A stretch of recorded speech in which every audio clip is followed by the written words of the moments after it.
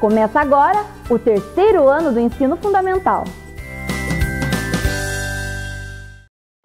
Vem aí, matemática.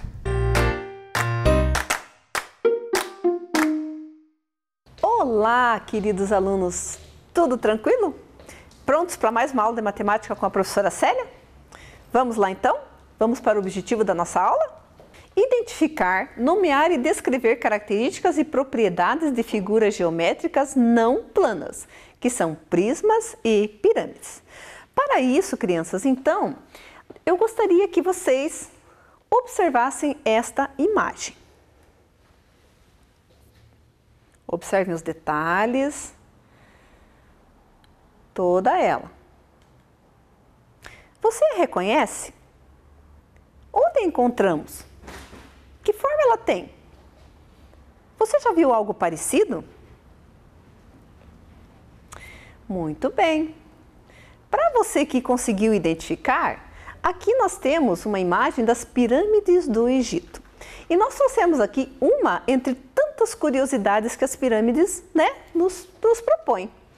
Uma delas é que a pirâmide ela é a morada das múmias.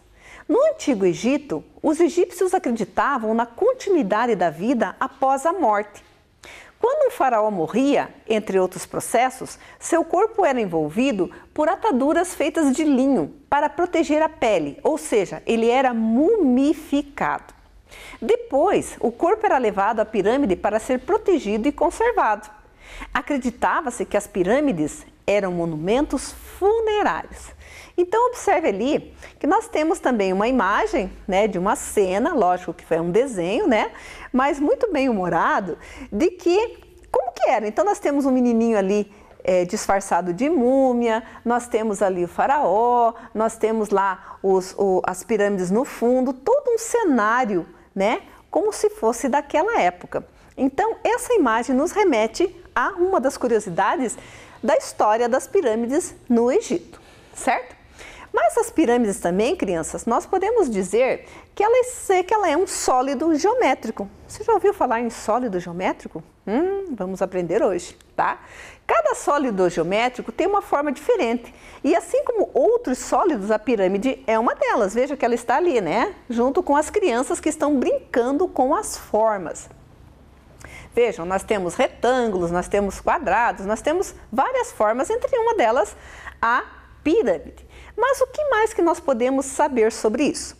Os sólidos geométricos, eles também são conhecidos como formas geométricas espaciais. Espaciais não é porque moram no espaço. Espaciais é porque eles ocupam o lugar no espaço, né? Eles são tridimensionais, nós podemos pegá-los. Figuras geométricas não planas. Então, essas denominações todas significam, na verdade, a mesma coisa, denominam a mesma coisa, certo? E os sólidos geométricos, eles são tridimensionais. Que será palavra comprida, né? Tridimensionais. Então, tri significa três. Dimensões significa que ela tem três dimensões, ou seja, né? Altura, largura e comprimento. Então, observe ali nas imagens ali que a professora pôs, num dos sólidos, que veja, Lembra que nós já tivemos aula sobre medidas de comprimento? Então, olha aí, né? É um conhecimento que nós estamos trazendo também para a nossa aula de hoje. Então, vejam, nós temos ali o comprimento, nós temos a largura e nós temos a altura. Então, com isso, a gente diz que ela tem as três dimensões, certo? Isso é bem importante saber. E quais são os elementos que formam esses sólidos geométricos? Né? Então, nós sabemos que para compreendermos melhor os elementos dos sólidos geométricos, nós precisamos entender a função de cada um deles. Vamos lá. Primeiro, faces. Faces significa cada lado ou face de um sólido. Então, quando eu estou falando de um sólido geométrico, se eu digo lado e face, eu estou falando da mesma coisa. Observem ali na imagem. Né? Essa imagem ela possui seis lados, seis faces, mas ali ela está marcando ali para vocês perceberem né, qual é o, o lado mesmo da, da figura, certo? Depois nós temos as arestas, que são retas que unem os lados dos sólidos. Então observem ali, tá? São as retas que unem essas faces, esses lados para formar o sólido geométrico tá? E depois nós temos os vértices, que são pontos que unem as arestas. Estão percebendo lá os pontinhos? Né? Então, esses pontos ali que unem essas arestas, eles são chamados de vértices. É muito importante que vocês vão prestando bastante atenção nesses termos, né? De repente pode até anotar ali, ter um dicionário matemático, né? Onde vocês vão, um vocabulário ali, onde vocês vão registrando essas palavrinhas e até, inclusive, o seu significado. Se eu juntar tudo isso, observe o que, que acontece. Então vejam que eu tenho ali a imagem de um sólido geométrico completo, né? Com a face, que são a, a, ali os, o, o, cada lado, né, que está simbolizando um amarelo. Nós temos as arestas, que são ali as retas, vejam que elas unem todas as faces, certo? E nós temos o vértice, que são os pontos de encontro. Viram como é fácil? É só prestar atenção que dá tudo certinho. Muito bem. Mas voltando às pirâmides, né? Então, o que, que é uma pirâmide? As pirâmides são poliedros que possuem uma única base e cujas faces são formadas por triângulos. O que, professora? O que, que, é isso, né? O que, que são poliedros? Então vamos lá. Poliedros, crianças, é uma palavra de origem grega. Na verdade, ela é formada por duas palavrinhas, é a junção de duas palavras poli, que significa muitos, e edros, que significa face. Então, cada vez que você ouvir a palavra poliedro, significa que aquela, aquele sólido, aquela figura, aquele sólido geométrico, ele tem muitas faces, muitos lados, né? Ele tem uma única base e as faces são formadas por triângulos. Então, nós vamos ver tudo isso agora. E as pirâmides, crianças, eles, elas obedecem a uma classificação tá? Então agora nós vamos ver a classificação das pirâmides. Muito bem. A primeira delas diz que a pirâmide ela pode ter uma base triangular, ou seja, sua base é um triângulo e é composta de três faces laterais e a face da base. Observem a figura. Mas também nós temos aqui, né? Se vocês observarem aqui, a professora trouxe para vocês aqui uma pirâmide de base triangular. Então, observe aqui. Quando eu falo em base, eu estou me referindo a essa parte aqui que está apoiada na minha mão. Ou seja, significa que ela está apoiada numa superfície. Pode ser a minha mão, pode ser uma bancada, pode ser o que for. Então, quando eu digo que ela é de base triangular, observe, criança, o formato, a forma, né? Triangular. Por quê? Porque ela tem três lados. Um, dois, três. E ela tem apenas uma base. E ela possui três faces, três lados, né? Cada lado da base forma mais uma face e elas se juntam aqui no vértice, tá? Na pontinha aqui, certo? Então, esse aqui, eu posso dizer, essa, essa, esse sólido, que é uma pirâmide de base triangular. Por quê? Porque ela tem, olha aqui, ó, três lados, certo? Como na figura lá. Então, observem aqui. Então, nós temos ali a uma das classificações. Mas também nós temos a pirâmide de base quadrada, né? Sua base é um quadrado e ele é composta de quatro faces laterais e a face da base. Observem lá. E a professora trouxe também aqui uma pirâmide de base quadrada. Então, observem que Olha ela aqui, ó. Certo? Veja, quando eu falo em base, eu estou me referindo à parte apoiada aqui na superfície. Então, olhem lá.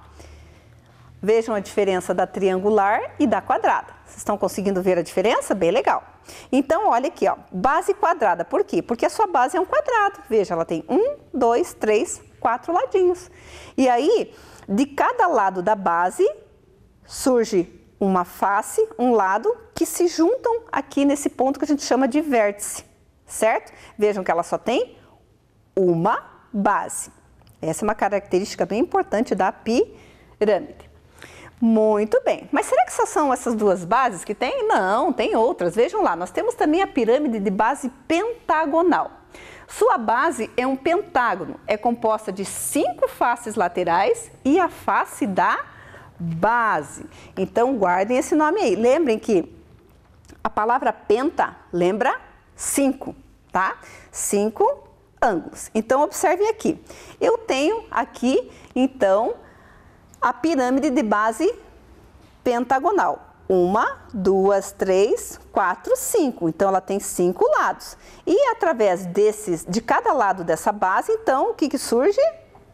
As faces. Olha aqui, ó. Uma, duas, três, quatro, cinco. E elas se juntam num ponto único que chama-se vértice. Então, aqui nós temos o exemplo de uma pirâmide de base pentagonal. Muito bem. Conseguiram perceber a diferença? Então, quando vocês verem uma figura com essas representação, então vocês já podem classificá-las, né, dentro dos poliedros aí das pirâmides. Muito bem. Vamos lá. Depois nós temos a pirâmide de base hexagonal. Sua base é um hexágono, ou seja, ela é composta de seis faces laterais e a face de base. Então, hexágono, hexa, lembra seis, tá? Então, observem lá que essa figura, ela tem uma base composta por seis lados. Então, a professora trouxe aqui também uma pirâmide de base hexagonal. Olha que linda, né? Então, vejam lá. Base hexagonal. Por quê? Porque ela tem seis, olhem a base, prestando atenção aqui, ó. Uma, duas, três, quatro, cinco, seis. Então, a base dela é formada por seis lados. Logicamente que cada lado compõe uma face lateral, né? Que juntas aqui formam o vértice, se unem aqui em cima formando o, o vértice. Então, aqui nós temos a pirâmide então de base hexagonal. Observe, crianças, a diferença entre elas, né? Todas são pirâmides. O que, que diferencia uma da outra? Suas bases, certo? Uma triangular, uma em forma de quadrado, olha aqui. Entenderam? E logicamente que existem outras classificações, né? Inclusive até vocês podem pesquisar aí para ver as outras, mas nós vamos trabalhar essas aqui, certo? Muito bem. Dessa forma, então, nós conseguimos classificar as pirâmides, né? Que é um poliedro, por quê? Porque tem várias faces, certo? Possui uma base, possui o vértice, possui, né, as, as, as arestas e tudo mais, certo? Então, ficou bem legal. Mas também, crianças, nós temos dentro dos poliedros os prismas. Você já ouviu falar na palavra prisma? Então, prismas também são poliedros. Lembram da palavra poliedros? Muitas faces que possuem duas bases, cujas faces são formadas por quadriláteros, ou seja, tem quatro lados né? Diferente do triângulo que tem três, ele já tem quatro ladinhos, tá? Então observe na imagem aqui que está em movimento, aqui nós temos exemplos de alguns prismas, certo? Então vocês vejam ali que a, a, a, as, as duas bases, né? Que a base é representada em verde, que tem a outra que está atrás, que não está aparecendo, mas também, né? Representa duas bases. E as suas faces laterais, que elas já são em formas de tem quatro lados. Muito bem. Se nós formos observar, nós também temos uma classificação dos prismas, certo? Os prismas, crianças, eles também têm uma base triangular. Então vamos observar aqui do ladinho, para vocês verem a diferença, que nós temos aqui os prismas, certo? Estão conseguindo ver bem? Então, vejam que nós temos o prisma de base triangular. Percebam a diferença, né? O prisma, ele já se caracteriza porque ele tem duas bases. Ó, ele tem uma base que fica apoiada na superfície e tem mais uma, a mesma, né? Na mesma medida, uma base semelhante em cima, são iguais. Mas as suas faces, elas são em formas de, elas têm quatro lados, ó. Por isso que a gente diz que são quadriláteros, elas têm quatro lados, tá? Então esse é um prisma de base triangular lar. Estão percebendo ali? Por quê? Porque ele, a sua base é em forma de um triângulo, certo? Então aqui nós temos um prisma de base triangular. Muito bem. Mas, olhem lá na, na imagem, né? Então é fácil de identificar também, certo? E daí, nós temos o, o prisma também de base quadrada. O prisma de base quadrada, ele possui duas bases no formato de um quadrilátero e quatro faces retangulares.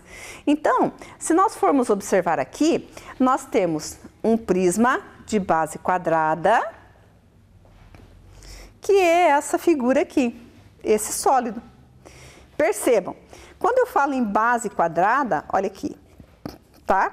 Ele tem duas bases, uma base aqui em cima, uma embaixo e outra em cima. E entre as bases eu tenho as faces que elas possuem quatro lados também. Olha aqui, ó, tá?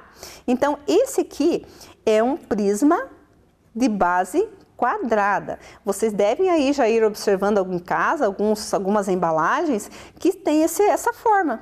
Então, quando vocês identificarem, vocês já sabem que é um prisma de base quadrada porque o que classifica o prisma aqui no caso são é a base, né? A quantidade de lados que tem a base. Então, se nós formos observar lá na imagem também, nós temos lá um prisma de base quadrada. Muito bem, mas será que são só esses dois? Não, nós temos também um prisma de base pentagonal.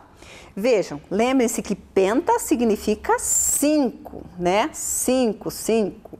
Então, se eu estou falando pentagonal, significa que esse prisma, essa, esse sólido, ele tem a sua base formada por cinco lados. Olha aqui, ó. Uma, duas, três, quatro, cinco.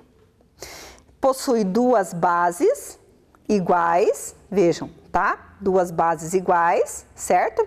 E entre as bases, então, as faces, os lados são, são quadrilados, ou seja, eles possuem quatro lados, certo? Aqui eu tenho os vértices e aqui unindo eu tenho as arestas, como a professora já comentou no início da aula. Então aqui eu tenho, olha aqui, observem bem então a imagem, tá? Aqui eu tenho um prisma de base pentagonal. Agora, o prisma de base hexagonal. Hexa, hexa lembra seis, tá? Então, hexagonal possui duas bases no formato de um hexágono e seis faces retangulares. Então, vejam, percebam aqui que agora eu tenho um prisma de base hexagonal. Olhem aqui a base, crianças. Estão percebendo? Uma, duas, três, 4, 5, 6. Então, a minha base tem seis lados. Mas, vejam que eu tenho a base, ele tem duas bases, certo? Então, e entre essas bases, eu tenho as faces laterais, os ladinhos aqui da minha, do meu sólido geométrico. Então, quando vocês identificarem uma embalagem ou um objeto dessa forma, vocês já sabem que é um prisma de base hexagonal. Por quê? Porque ele tem seis ladinhos.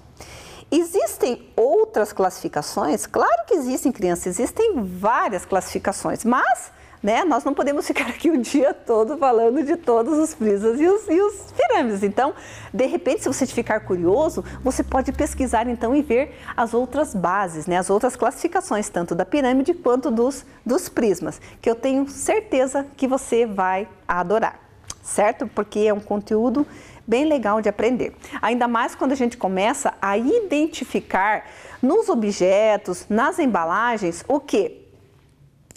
Essas formas, né? Então, crianças, quando vocês observarem essas formas nas embalagens, ou vocês tiverem de repente uma pirâmide, um prisma, vocês já sabem que nós estamos falando de geometria, né? E dos poliedros, porque poliedro significa o que mesmo? Quem é que lembra? Isso, uma figura, um sólido que possui muitas faces, né? E aqui, só fazendo uma comparação, qual a diferença básica entre a pirâmide e os prismas? Está no número de bases. Vejam que a pirâmide, crianças, eu tenho uma base só, né? E as faces, os lados dela são todos em formato de triângulos, por mais que a sua base seja diferenciada. Olha, por mais que eu tenha uma base em forma de quadrado, as faces dela, os lados, são todos em formas de em formas triangulares. O prisma não. O prisma já possui duas bases, certo? E as faces são, em, são quadriláteros, ou seja, eles têm são formados por quatro lados. Então, essa é uma diferença bem importante para vocês saberem aí, como conhecimento, para poder aplicar nas próximas atividades que. Então, olhando lá, né, na nossa imagem, então nós temos ali, podem ver ali, ó, tá? Que nós temos, então, a nossa base, que é formada por seis lados e cada lado, então, forma uma face, forma um ladinho, certo? Muito fácil de entender, muito fácil de compreender, né? Se prestar bastante atenção, vocês vão perceber. Ainda mais quando vocês começarem a fazer comparatismo, comparativos com os objetos que vocês têm em casa, né? Eu tenho certeza que vocês vão conseguir identificar aí muitos poliedros, né? E vão aprender bastante. Muito bem aprendemos bastante, né? Conversamos bastante sobre a classificação dos prismas, dos, dos, das pirâmides, sobre os poliedros, já fizemos comparativos. Agora está na hora de pôr a mão na massa. Ou seja, vocês receberam em casa, crianças, uma atividade impressa, certo? Que vocês pegaram na escola. Então, essa atividade, ela é uma atividade bem simples, mas que busca a identificação de tudo que nós trabalhamos aqui. A classificação também. Então, se você prestou bastante atenção na aula, com certeza você vai conseguir resolver essas questões aqui da nossa atividade de hoje. Então, vamos lá. Identifique cada figura geométrica não plana e responda, certo? Então, vejam lá. Nós temos a primeira, que você vai ter que pôr o nome, quantas bases, quantas faces. Se olharmos de cima, o que, que a gente vê, se olharmos de frente, o que, que nós vamos ver e responde lá. Depois nós temos a segunda imagem, onde vocês também vão ter que colocar o nome, quantas bases tem, quantas faces. Se olharmos de cima, de cima para baixo, o que, que a gente vê? Né? E se olharmos de frente, o que, que nós vamos ver? Então, crianças, vocês vão ter cinco minutinhos para fazer essa atividade com bastante atenção e capricho, para que nós possamos seguir com a correção.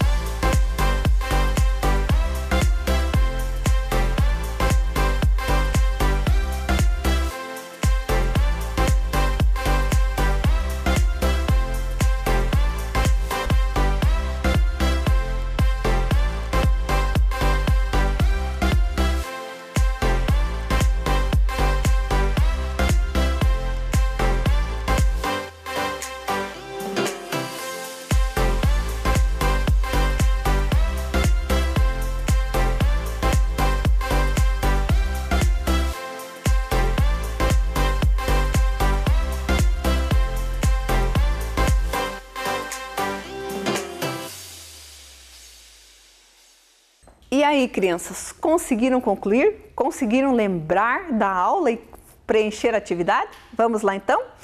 Vamos olhar a primeira imagem. Observem bem ela lá. Então veja, quando a gente observa uma imagem, crianças, para que a gente possa classificar, nós temos que olhar primeiramente na base. A base já diz tudo, vai nos dar a base do que nós temos que, que responder ali. Então percebam que essa figura, ela é o quê? Ela é uma, vejam, ela tem quantas bases? Ela tem duas, então eu já sei que pirâmide não é, porque a pirâmide só tem uma, tá? Vejam, qual que é o formato da base? A base, base ela tem três ladinhos, ela é na forma de um triângulo, então trata-se de um prisma de base triangular, certo? Lembrando que os prismas sempre terão duas bases. Muito bem. Vamos para a segunda questão ali. Quantas bases tem? A professora acabou de falar.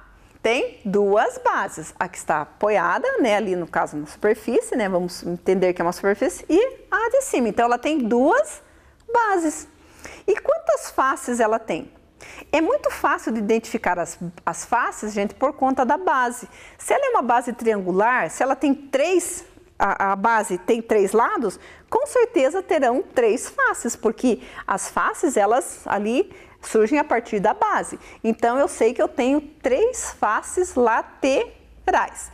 Então, eu posso perceber aqui, olhando na imagem.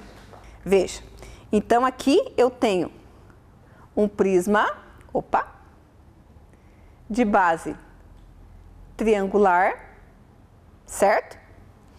E ele tem duas bases, tá? Duas bases e ele é formado por uma, duas, três faces, certo? Então é uma das figuras que nós vimos aqui na nossa classificação. Então ele está ali, tá? Quando olhamos de cima, o que, que a gente vê? Quando eu olho de cima para baixo, o que, que eu vejo? eu vejo um triângulo. Então, observem aqui, tá? Na atividade. Então, quando eu olho de cima, o que, que eu vejo? Eu vejo um triângulo, muito bem. Mas se nós olharmos de frente, nós vamos ver o quê? Nós vamos ver um retângulo. Então, crianças, observem aqui agora, olhando de cima. Então, se eu olhar de cima, só para confirmar a atividade, né? Se eu olhar de cima, ó, de cima para baixo, eu vejo a imagem do quê? De um triângulo. Mas se eu olhar de frente, o que, que eu vejo? Eu vejo um retângulo, tá? Então, é uma questão de ponto de vista. Eu estou olhando de cima, é como se eu estivesse olhando de cima e você estivesse olhando de frente. Então, eu estou vendo ela na forma de um triângulo. Você está vendo ela na forma de um retângulo certo? Deu para entender? Então, é uma questão mesmo de ponto de vista, certo? Muito bem. Então, dessa forma, nós preenchemos ali a nossa primeira imagem. Vamos agora para a segunda imagem. Observem ela, né? Já observaram. Como que nós podemos nomear essa, essa, esse sólido? Né? Essa figura não geométrica não plana. Ou seja, nós sabemos que ela tem uma base quadrada, mas ela não tem duas bases. Então, ela é um triângulo de base, uma pirâmide, desculpe, uma pirâmide de base quadrada, certo? Veja, a base dela é formada por quatro lados, mas ela só tem uma base. Por quê? Porque as faces que se formam a partir da base, elas se unem num ponto único, num ponto só, que é o vértice, certo? Então, esse é a pirâmide de base quadrada. Muito bem. Se nós continuarmos observando, o que, que nós temos ali? Quantas bases? Uma só. Então, é uma base. E quantas faces? Se ela é quadrada, então ela vai ter quatro faces, certo? Quando olhamos de cima, o que, que nós vemos? Ah, agora quero ver o que, que vocês colocaram aí. Quando olhamos de cima, nós vemos um quadrado. Já vou mostrar por quê. E se nós olharmos de frente, o que, que nós vemos? Nós vemos um triângulo. Então, prestem atenção aqui na nossa pirâmide de base, opa, quadrada. Então vejam aqui, a nossa pirâmide de base quadrada que é que está na nossa atividade. Então vejam bem lá. Então ela tem uma base apenas que é quadrada, certo? E ela tem quatro faces, uma, duas, três, quatro, como nós colocamos ali na atividade. Quando eu olho de cima, vejam bem, eu vou virar um pouquinho aqui para como se você estivesse olhando de cima. O que, que vocês veem? Ah, professor, eu vejo o vértice, o pontinho. Sim, mas se eu olhar a imagem como um total, eu enxergo a base.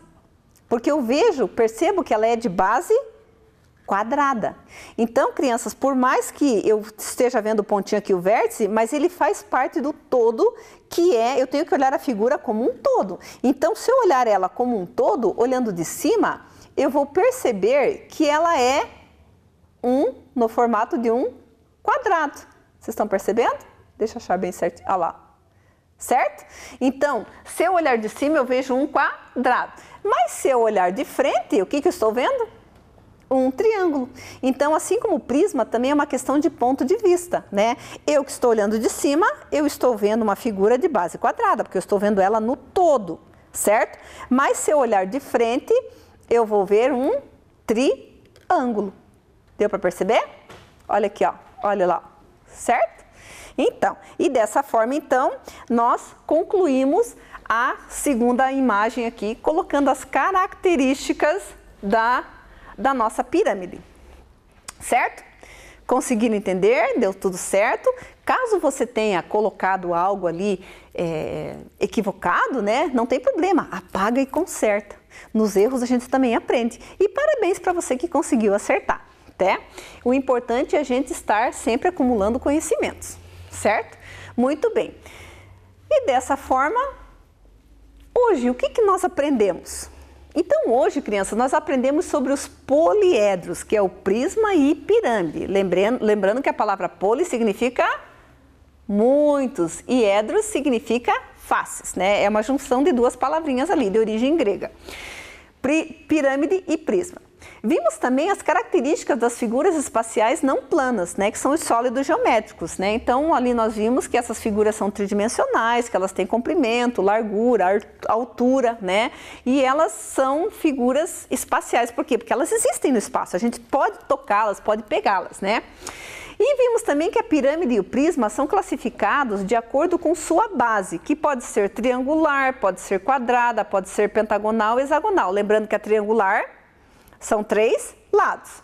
A quadrada são quatro, a pentagonal são cinco, a hexagonal são seis. E eu coloquei ali uns pontinhos porque existem outras bases, certo? Então, para que vocês possam aprender, certo? E dessa forma nós atingimos o nosso objetivo de hoje, que é identificar e nomear, nomear, descrever características e propriedades das figuras geométricas não planas que são os prismas e as pirâmides, certo? Dessa forma, finalizamos nossa aula. Beijo, espero que tenham gostado e ó, vamos observar aí os poliedros aí que tem em casa, tá bom? Até a próxima aula. Vem aí, arte.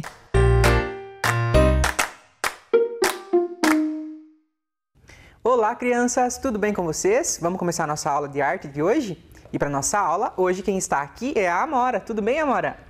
Oi, professor. Eu estou bem e você? Eu tô bem também. Passou bem o final de semana? Eu passei. Foi ah, muito é? bom ficar em casa com a família, né? Sim. E me conta uma coisa. Você prestou bastante atenção na aula da semana passada? Ah, eu prestei.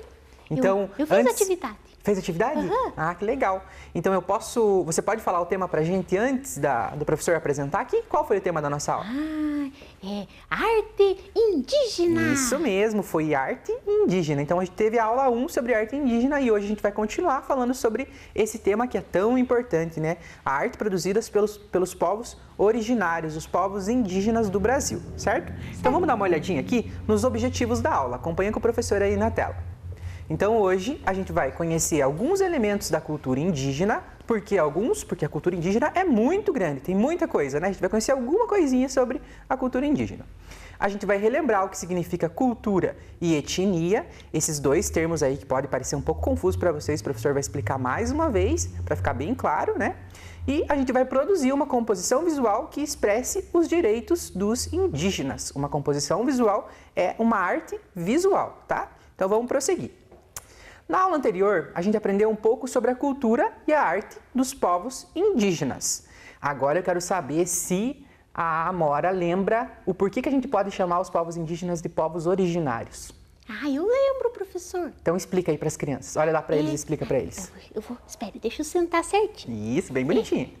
Sabe, crianças, eu eu entendi que a gente chama eles de povos originários porque eles eram os que estavam aqui na origem do nosso país.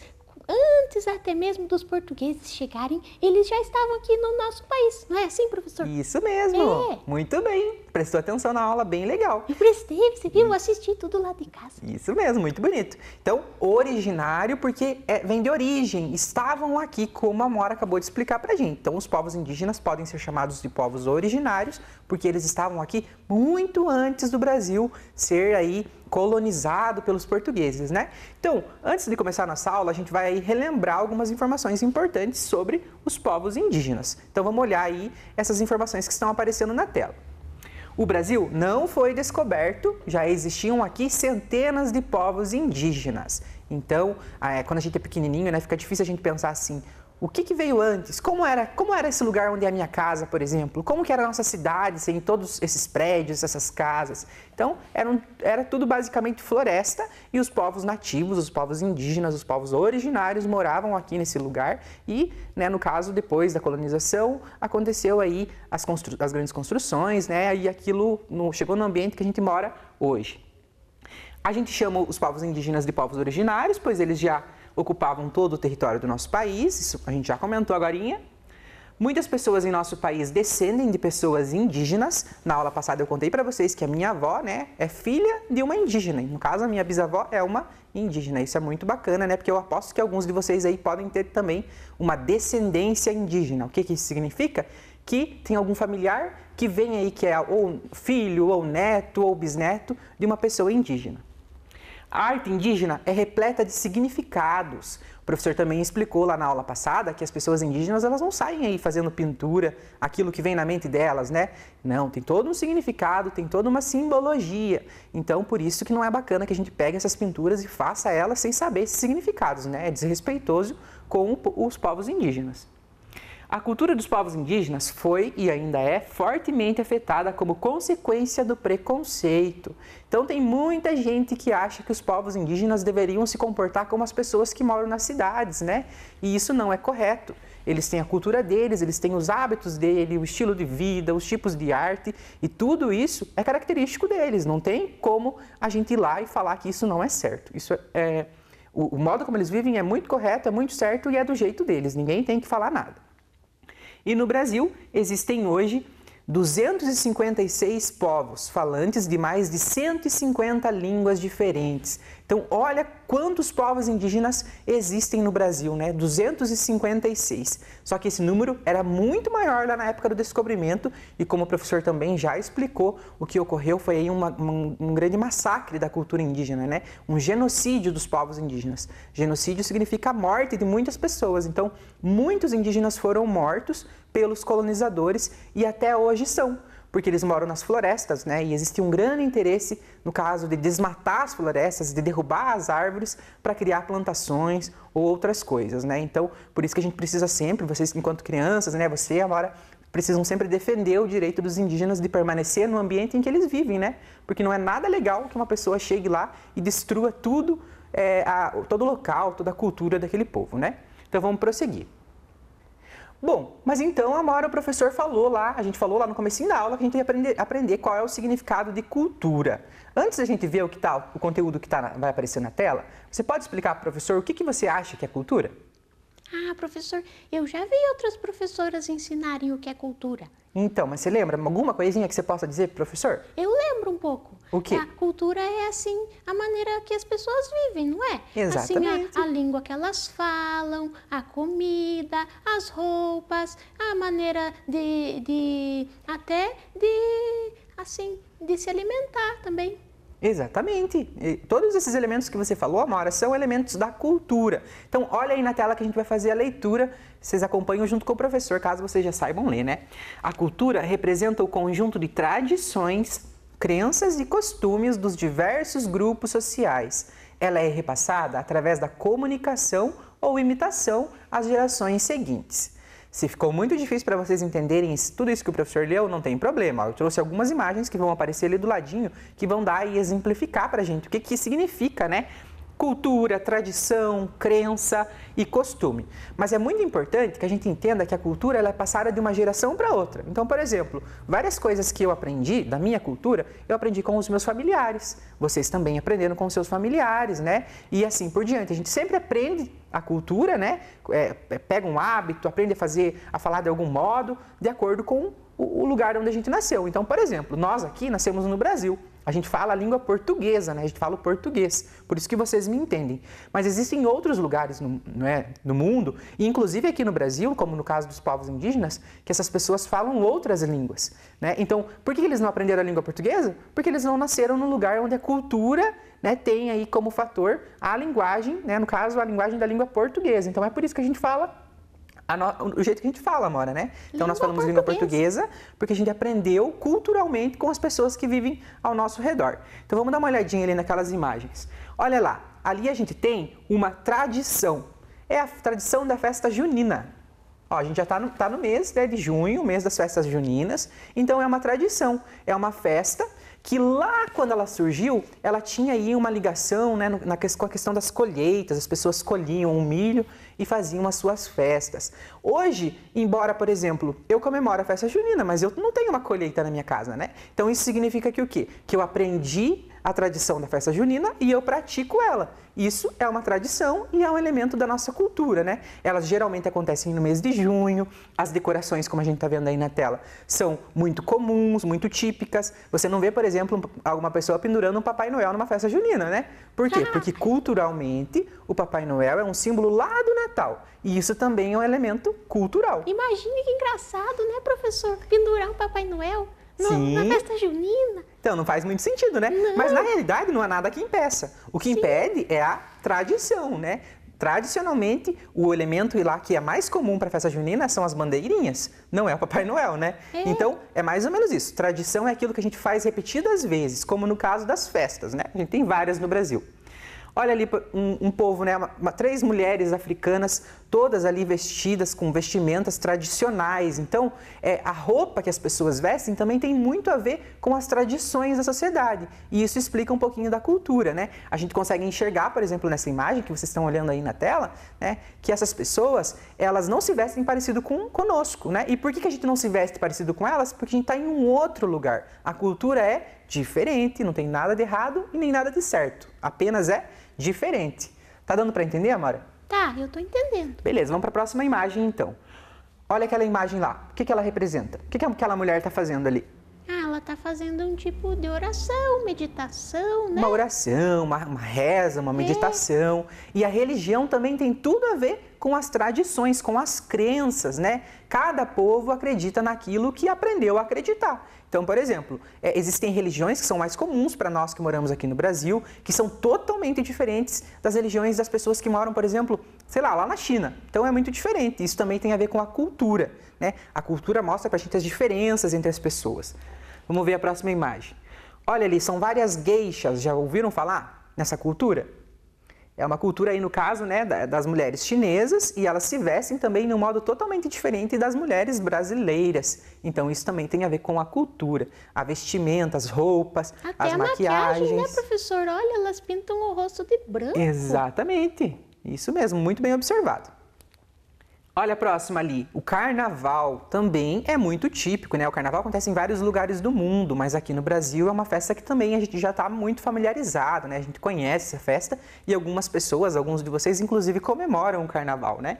Então, olha nessa imagem que está aparecendo aí na tela, esse mapa que está mostrando várias pessoas aí dentro do, do, do mapa mundi, né? Está aparecendo ali todos os continentes, o continente americano, africano, asiático, europeu. Então, cada lugar do mundo tem a sua cultura. E no caso dos indígenas, existem povos indígenas em todo o mundo, porque afinal de contas eles são povos originários, eles estão próximos da origem dos seres humanos, né? E no caso do Brasil, a cultura indígena também está presente no nosso cotidiano, no nosso dia a dia.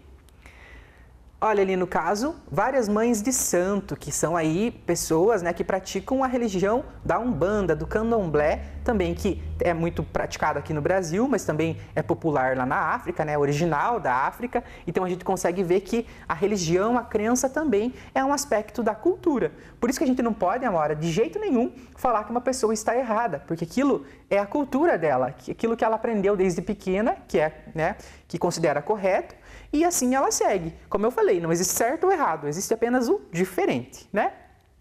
Então vamos prosseguir. Mas para explicar para você e para as crianças aí de casa um pouquinho dessa questão da cultura, eu trouxe aqui uma, uma a cultura dos, das crianças indígenas do povo Cuiucurus. Já ouviu falar? Eu não, professor. Então, ó, pensa só, quando a gente é criança, a gente geralmente, né, as crianças que moram, por exemplo, nas cidades, né? Como você, a mora como as crianças que estão assistindo a gente. É. Vocês provavelmente têm uma criação, né? Ou seja, uma educação muito parecida. Coisas que vocês fazem, como por exemplo, vocês vão para a escola, vocês brincam, sei lá, de videogame, assistem televisão, mexem no celular, e aí, um monte de coisas, certo? Mas como que é a vivência de uma, uma, criança indígena? Como será que é a cultura de uma criança indígena? Vamos acompanhar o texto aí na tela que o professor vai ler e explicar para vocês? Vamos. As crianças cuiucurus têm o costume de passar o dia no rio, onde, onde tomam um banho e brincam.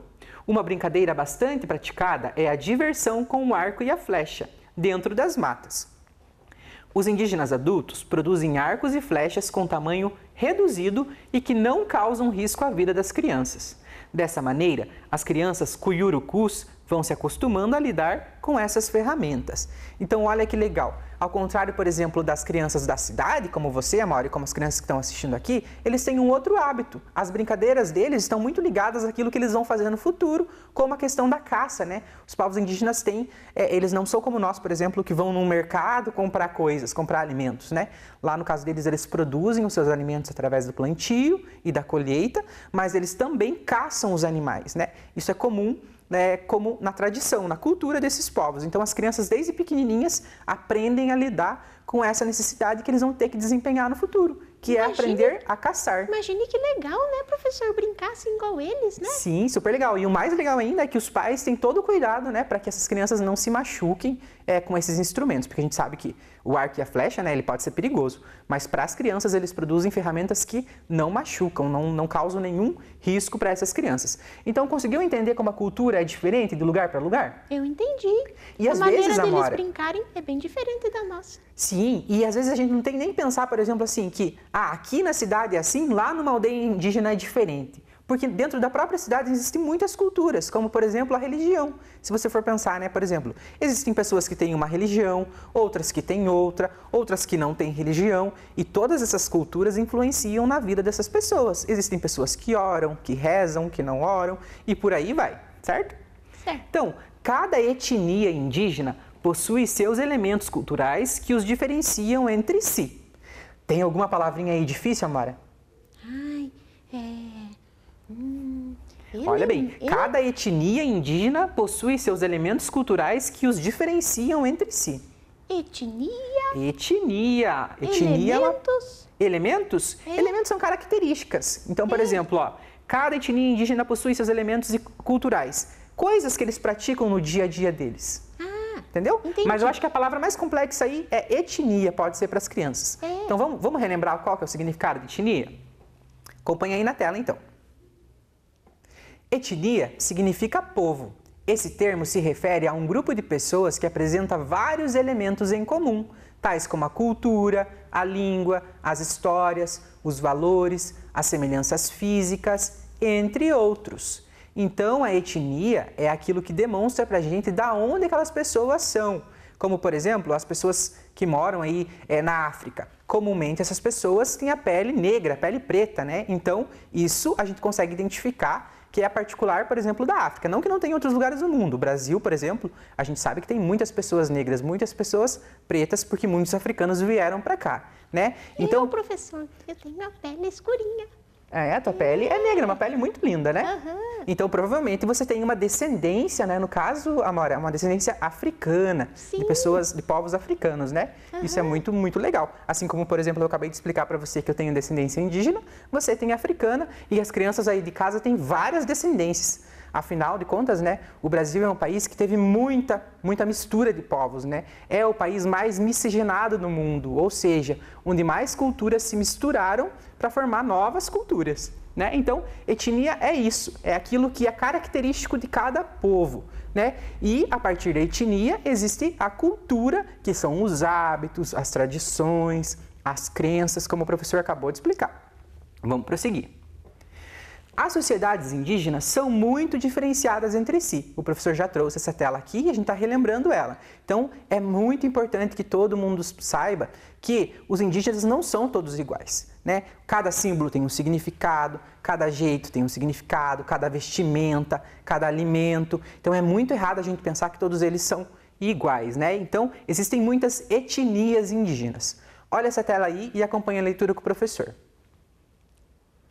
Artes tradicionais compartilhadas. Existem diversas etnias indígenas no Brasil, cada uma com comportamentos e costumes diferentes. No entanto, existem várias características comuns encontradas em diversas tribos. Então, como o professor explicou, existem muitas etnias indígenas no Brasil. E as etnias diferenciam-se pelas suas culturas, suas tradições, né? Então, cada um tem a sua particularidade. Mas também existem aqueles elementos que são comuns, ou seja, que esses povos indígenas praticam. E nesse sentido, a gente tem aí as artes tradicionais compartilhadas, que todos esses povos, ou que a maioria desses povos, praticam. Como, por exemplo, nesse caso que a gente está vendo nessa imagem aí. A gente está vendo uma mãe indígena, né, no caso, fazendo uma pintura corporal na sua filha. Né? A pintura corporal é uma arte tradicional compartilhada. Por quê? Porque muitos povos indígenas, muitas etnias indígenas, é, têm aí como uma tradição, como um elemento da cultura, o hábito de pintar o corpo, de produzir as pinturas corporais. Assim como, né, no caso, a cerâmica, as máscaras, a cestaria, a plumagem também pode ser considerada uma arte tradicional compartilhada, porque esses povos, embora sejam muito diferentes, praticam aí, em sua grande maioria, todos esses tipos de arte, eles produzem, tá? Então é muito importante que a gente saiba que existem essas artes que são aí comuns entre todos esses povos. Então, existe uma grande diversidade de produções artísticas que se integram ao modo de vida e aos ritos cotidianos dos diversos povos indígenas. Mas, nos dias de hoje, a arte indígena ganha também novas funções. Então a gente acabou de ver que existem vários tipos de arte que são compartilhadas, ou seja, embora existam vários grupos indígenas, esses grupos todos fazem essas artes, que é a pintura, a cestaria, né, no caso a plumagem, que são por exemplo, os, os cocares ou os adereços do corpo, mas também existe outro tipo de arte indígena que está surgindo agora. Quando o professor fala agora, não é agora, em 2021, tá? Há pouco tempo. E a gente chama essa arte que é produzida no nosso tempo, agora, de arte contemporânea, diferente da arte tradicional essas artes que a gente acabou de ver aqui, que vocês estão vendo aí na tela, né, como por exemplo o cocar, as pinturas cor corporais, as máscaras, a cestaria, são artes tradicionais. Mas será, é, Amora, pensa só, será que os povos indígenas eles vão ficar é, a vida inteira produzindo os mesmos tipos de arte? A vida ela não se transforma? A vida não muda? Eu acho que muda, né, Muda, professor? né? Daí eles vão criando outras coisas, não é? Criando outras coisas, exatamente. Assim como a gente, né? A gente vai criando outras coisas sempre com o decorrer do tempo e a mesma coisa acontece com os povos indígenas. Então, é muito legal que a gente conheça todas essas artes tradicionais. Semana passada a gente fez uma atividades, né, sobre as artes tradicionais, mas hoje, em específico, a gente vai falar sobre esse outro tipo de arte, que é a arte contemporânea indígena. Ou seja, é a arte que é produzida nos dias de hoje e que se diferencia de todos esses tipos de arte que a gente viu até agora, tá? Então vamos olhar aqui, ó. A arte não se desliga da vida. E os povos indígenas lutam incansavelmente pelo direito de viver e proteger suas culturas. Isto resulta em um novo tipo de produção artística, como o professor falou, a vida se modifica e no caso dos povos indígenas, que hoje ainda são muito atacados, né, a sua cultura, as suas tradições ainda são muito atacadas, a arte hoje ganha um novo significado. Né? A arte se torna um instrumento, no caso, para pedir socorro, para pedir ajuda, para que as pessoas se conscientizem da importância de manter viva a cultura indígena, né? Afinal, esses são os povos aí que têm tudo a ver com a gente, né? São os povos originários. Então vamos olhar aqui, ó. A gente vai falar sobre um artista indígena contemporâneo. Na aula passada, vocês podem lembrar que o professor explicou, né, que comumente, geralmente, é, os povos indígenas, eles não têm a figura de um artista. Mas aí vocês podem perguntar, mas aí, como que você vai falar aqui pra gente, professor, de um artista indígena? Esse artista indígena, ele é descendente de indígena, né? No caso, os pais dele são indígenas e moram em uma aldeia. Ele saiu do, do espaço indígena e mora né, na cidade. Mas isso não significa que essa pessoa deixou de ser indígena. Afinal de contas, né, a cultura não está relacionada com o lugar exatamente, né, com o lugar onde a pessoa está. Se ele viveu, cresceu numa, é, baseado na cultura indígena, ele vai carregar esses traços culturais para sempre. Então esse artista se chama Denilson Baniwa. Vamos ler um pouquinho do, do, da história desse artista, então, né? Ele nasceu na aldeia Dari, no Rio Negro, no Amazonas. Denilson Baniwa é um artista indígena. É indígena e é artista. E seu ser indígena lhe leva a inventar um outro jeito de fazer arte. Então, olha o que, que o Denilson, né, esse artista indígena, fala sobre a arte indígena. O artista indígena precisa ser um guerrilheiro pela manutenção do bem viver do seu povo. Então, ele entende que a arte que ele produz precisa aí tentar defender, buscar defender a cultura do seu povo, que aí está sofrendo, né, no caso, vários riscos de desaparecer. Então agora a gente vai ver algumas obras desse artista que não são só pinturas, tá, crianças? Nesse caso aqui é uma fotografia de uma projeção. E essa projeção, né, foi feita aí e, e a gente está conseguindo ler, no caso, Brasil, terra indígena. Então, esse é um tipo de arte e é muito importante que a gente saiba que arte existem vários tipos, né? Então, que lindo, nessa né, professor? Muito legal, uhum. No caso ali, é como se fosse uma lâmpada que reflete, né, aquela aquela aquela escrita naquele lugar ali, naquele ambiente. E ele diz ali que o Brasil é uma terra indígena porque realmente é, né? Os indígenas estão aqui muito antes do que aconteceu no período da colonização. Vamos ver a próxima.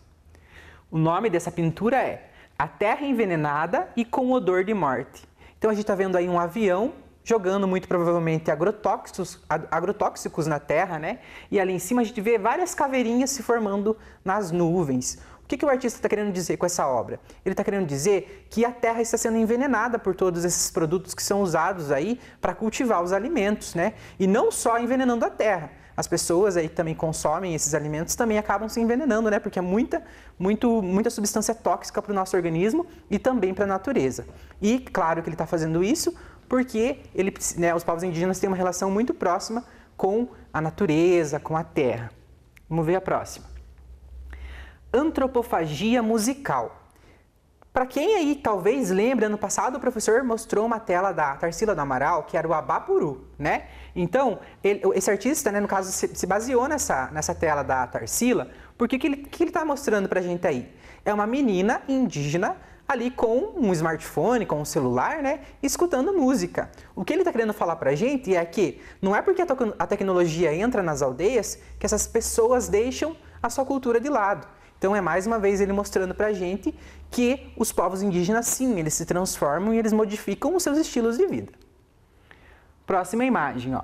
Protagonismo e a nossa voz precisa ser escutada. Então a gente está vendo uma mulher indígena né, cantando com equipamentos também que não são equipamentos comuns lá da cultura indígena. E é mais uma obra de arte que mostra pra gente que os povos indígenas se transformam e aí, no caso, buscam outros elementos, né?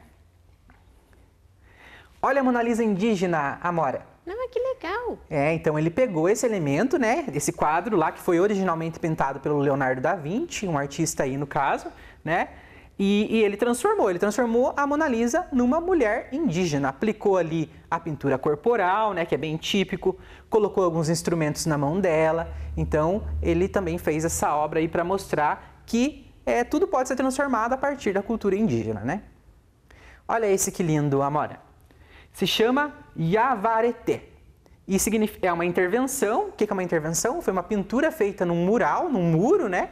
É, para chamar atenção, com o objetivo de chamar atenção as pessoas para o cuidado com o planeta. Foi feita ano passado, em 2020, e a gente consegue ver ali que o artista, ele modificou a pelagem dos animais e ele fez como se fossem todos os sinais da pele desse, desse animal, né? São todos geométricos, então ele não faz orgânico como é na natureza, né? Orgânico é aquelas linhas curvas enquanto que geométrico são as linhas mais retas, né?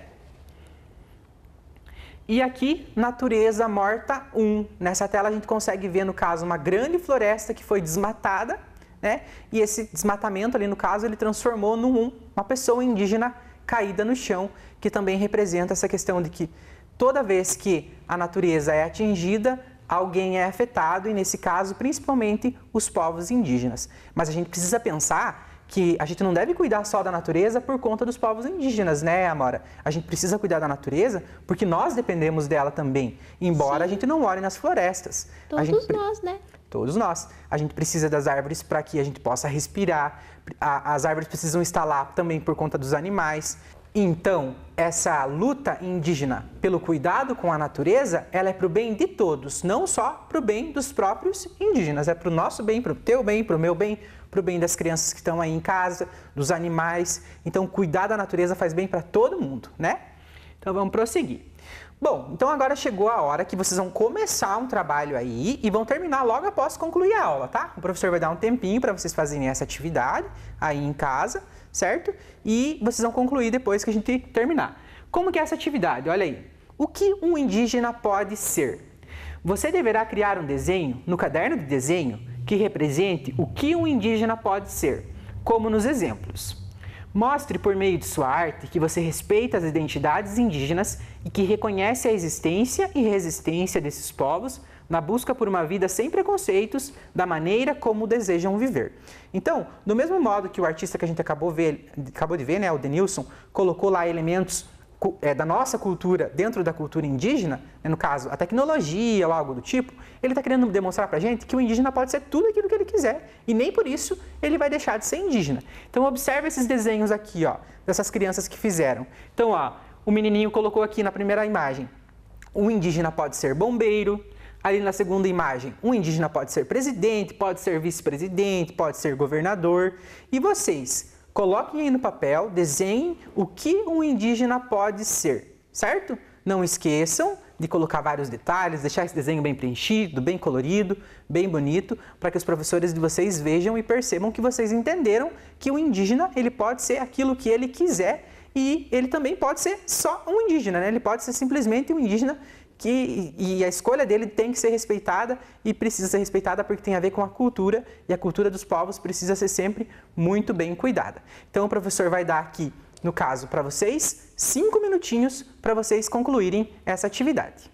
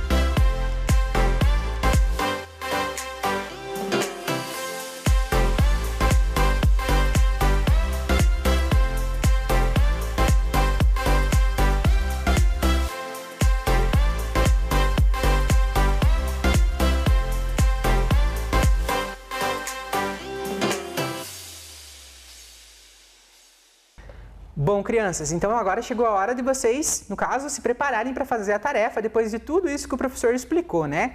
Vocês vão então criar um desenho que represente tudo aquilo que o indígena pode ser, como a gente viu que o Denilson, esse artista indígena que a gente acabou de estudar, ele também faz, né? Ele nos mostra que os indígenas, as pessoas indígenas, não deixam de ser indígenas por aí, no caso, morarem nas cidades, por vestirem roupas parecidas com a nossa, por escutarem outros gêneros musicais ou praticarem outros tipos de arte, né? Então vocês vão ter que mostrar, como nesses desenhos que o professor está mostrando aqui na tela, né? O que, que o indígena pode ser? Essas crianças aqui, uma delas fez colocando que o indígena pode ser um bombeiro, por exemplo, enquanto que a outra colocou que o indígena pode ser um presidente, um vice-presidente, um governador. Então, na realidade, o indígena pode ser tudo aquilo. Vocês vão escolher aí o que vocês é, quiserem representar. O indígena pode ser tudo aquilo que ele quiser, ou ele também pode ser, né, no caso, uma pessoa que vai viver lá na, na, nas aldeias, do, no modo mais tradicional, do jeito que ele quiser. O importante é sempre a gente respeitar as pessoas indígenas e nunca achar que elas devem ser de um jeito ou de outro, tá?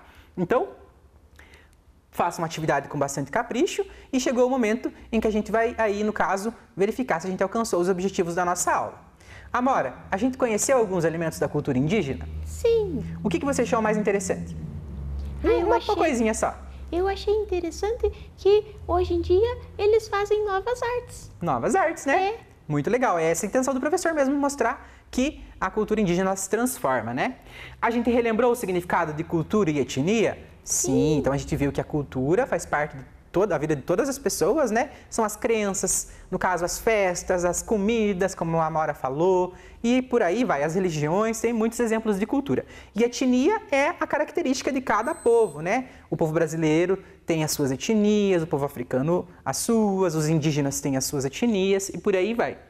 E a gente também, aí no caso, iniciou a proposta de produzir uma composição visual né, que é, expresse os direitos dos indígenas de serem aquilo que eles quiserem ser. Então, capricha no trabalho aí para levar para a escola e para os professores de vocês poderem avaliar, certo? Certo. Para finalizar, ó, parabéns, então, conseguimos concluir, né?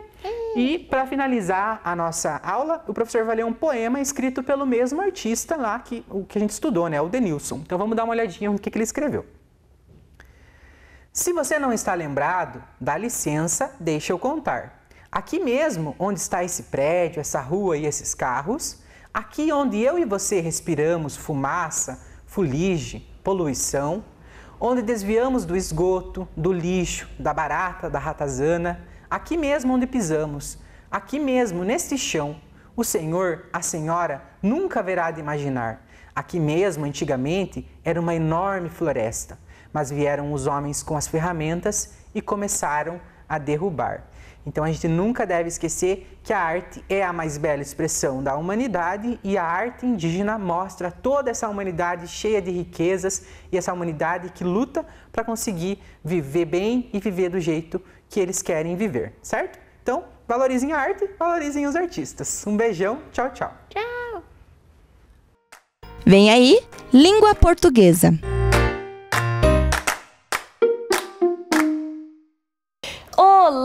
Crianças! Bom dia! Tudo bem com vocês?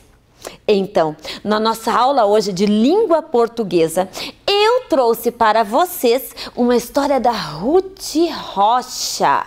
É, essa autora maravilhosa que escreve muitas histórias que vocês já devem ter ouvido em algumas aulas aqui na TV ou nas aulas da escola.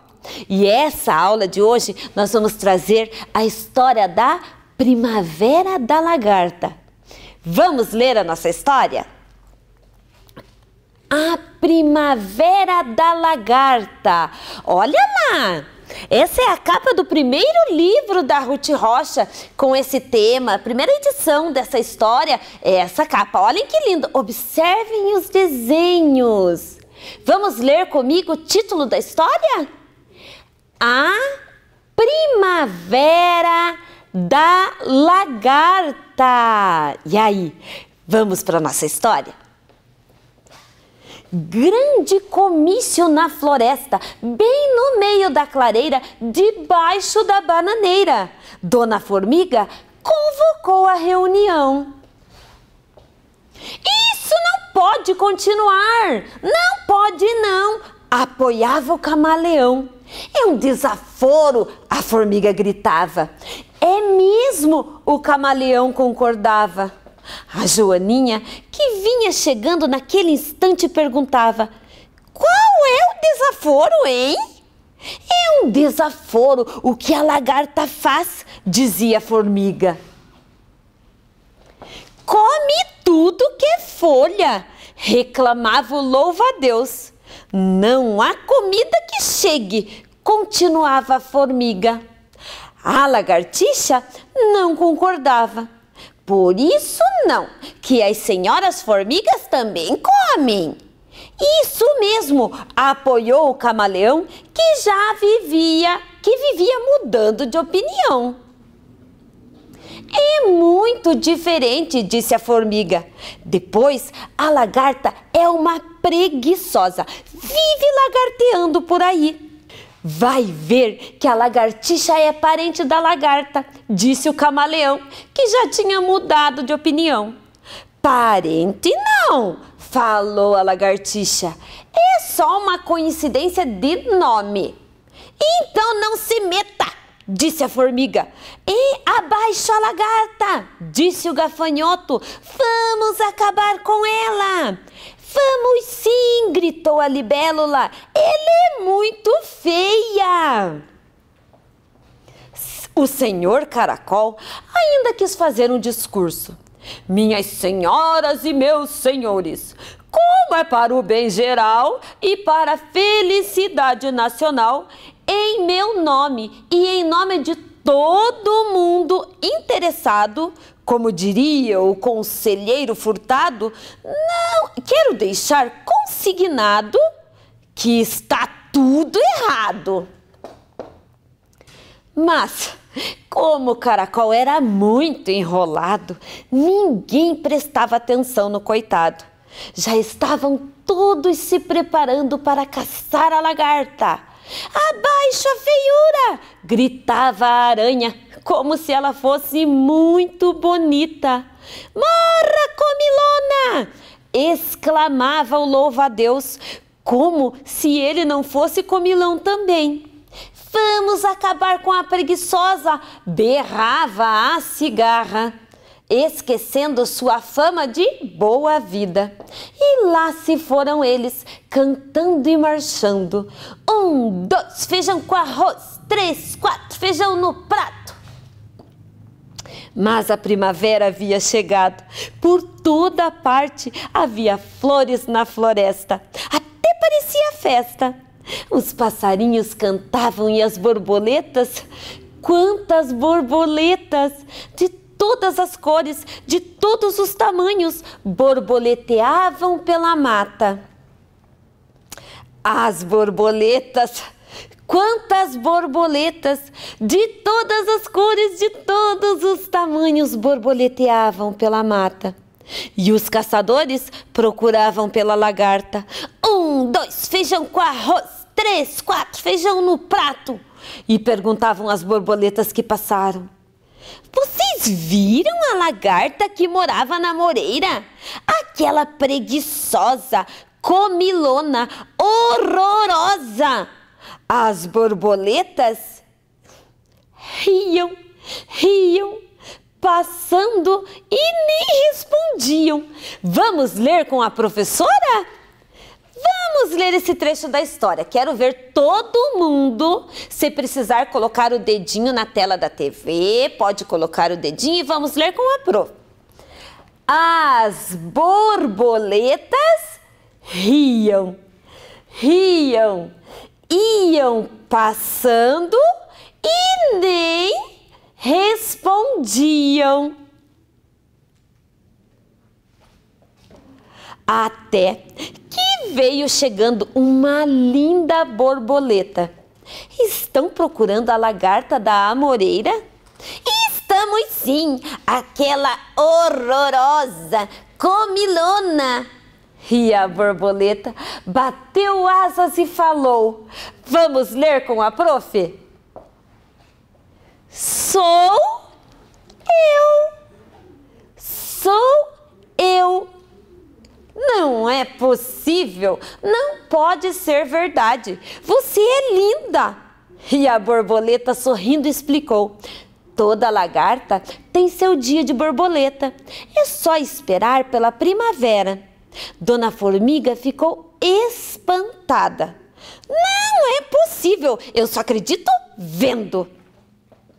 E a borboleta falou: Venha ver, isso acontece com todas as lagartas. Eu tenho uma irmã que está acabando de virar borboleta.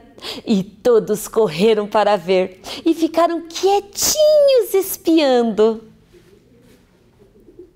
E a lagarta foi se transformando, foi se transformando até que de dentro do casulo nasceu uma borboleta. Os inimigos da lagarta ficaram admirados. É um milagre, disse a formiga envergonhada. Bem, é, bem que eu falei, disse o camaleão, que já tinha mudado de opinião. E a borboleta falou: É preciso ter paciência com as lagartas se quisermos conhecer as borboletas.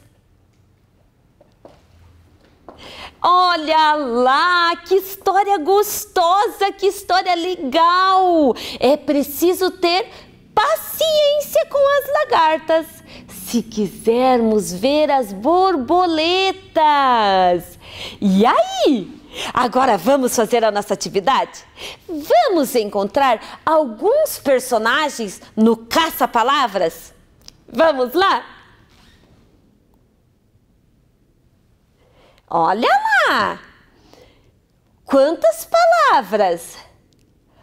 Borboleta, muito bem! Borboleta. E agora, qual outro personagem que a gente consegue encontrar aqui?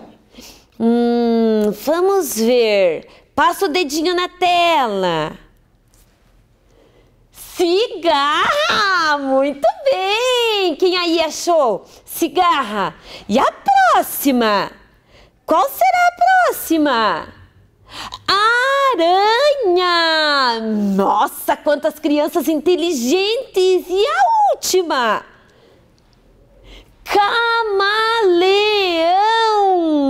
Muito bem! Olha lá, encontramos as palavras do nosso caça-palavras. E aí, gostaram da aula de hoje? Gostaram? Então, Pirilim Pim Pim, a nossa aula e a nossa história chegou ao fim. Um beijo grande para vocês e até a próxima!